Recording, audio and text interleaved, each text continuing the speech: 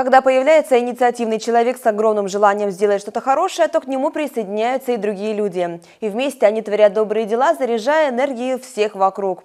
В селе Болонь радостное событие. Наконец-то там появилась детская площадка.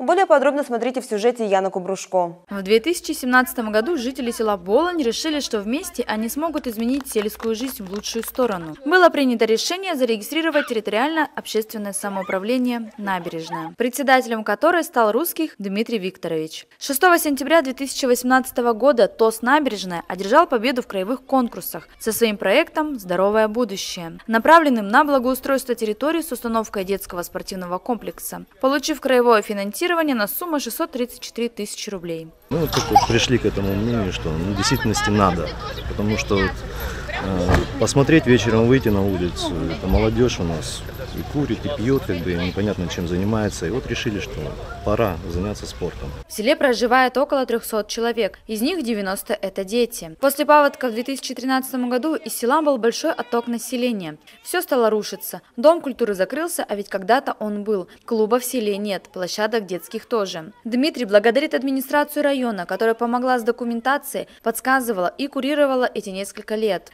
Также жителей, взрослых и детей, которые провели большую работу перед установкой конструкции. Это уборка территории от мусора. Они снимали верхний слой для дальнейшего засыпания песка, скос травы и установили и украсили в яркие цвета ограждения. Мы немножко помогали, сами лично участвовали приходили, скашивали траву, также убирали, и дети помогали, колеса красить. Большое количество людей помогали друг другу, верили в свои силы и не опускали руки, когда проект не прошел первый и второй раз на конкурс. Конечно, были люди, которые говорили, что вы тут делаете, зачем вам это все надо, и все равно у вас ничего не получится, и вы только скосите, и больше ничего не будет. Конечно, как всегда, как обычно, есть такие люди, которые находятся, как в том мультике «Баба Яга против». Самое главное, что теперь дети рады. Не дождавшись, когда затвердеет бетон, дети уже полезли на тренажеры и качели. Дети – это наше все. Все мы делаем для детей, ради детей, чтобы у детей было место, куда можно было прийти, не просто там дома да, посидеть, в компьютере, чтобы они еще и отвлеклись и от компьютеров и между собой пообщались. Поздравить с таким важным событием сельчан приехал глава Амурского района Павел Михайлович Боровлев и Аксенова Светлана Михайловна, председатель собрания депутатов Амурского района. Очень приятно, что мы собрались с вами на, на этом событии реализации проекта ТОС, которое шло трудным путем благодаря вашим энтузиастам, семье русских Татьяны Ивановны и Дмитрия Викторовича, которые с третьего раза, можно сказать, вот выиграли такой проект. Я думаю, это будет началом, началом благоустройства вашего села.